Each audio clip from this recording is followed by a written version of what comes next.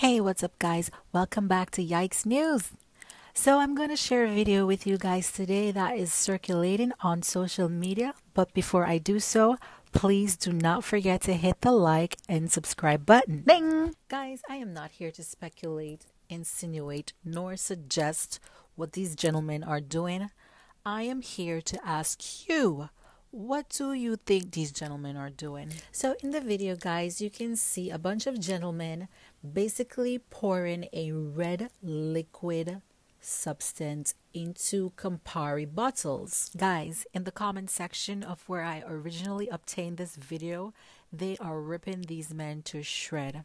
Some of the readers were saying it is very illegal for them to be pouring their own homemade alcohol into brand label companies brand and giving them a bad reputation because when people drink that liquor it is going to mess up their stomach and give the company a bad reputation.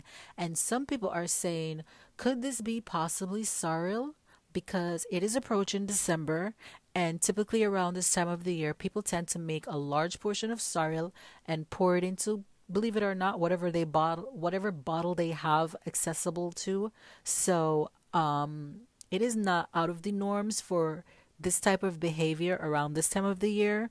So that is why I am very curious to know what you guys think.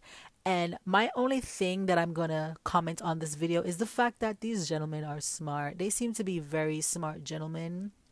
My thing is, why would if you're doing something illegal why would you record yourself doing it? That's all i'm saying. So yeah.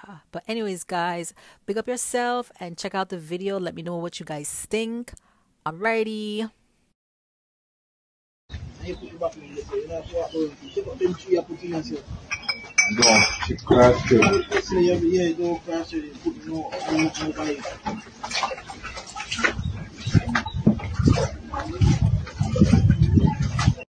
Guys, I really wanted to add really quick, even though my platform is very new and very small, I still want to extend the reach out to whomever I'm posting on my platform for them to tell their side of the story.